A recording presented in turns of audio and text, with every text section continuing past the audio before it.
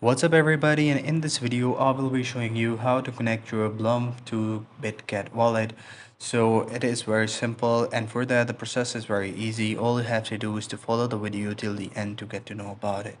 So what you have to do is to go and tap on the wallet option on the bottom right corner. Just tap on it and here you will see that I have already attached a wallet with my Blum application. So in order to connect the Bitget wallet I have to disconnect my prior wallet. So let's go and tap on disconnect button. So once I do it you will see that the wallet has now been disconnected. Now go and tap on connect wallet option. And in the wallet option all you have to do is to go to view all wallet option. Once you do it you will see the bitget wallet option right over here. Just tap on it.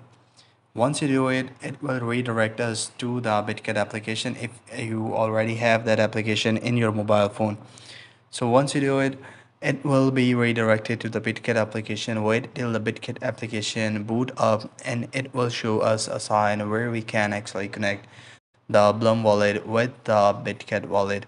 So here all I have to do is to go and tap on approve button. Once I do it, it will ask me for the authentication via my fingerprint. So once I do it, it will just simply connect the Blum with my Bitget wallet.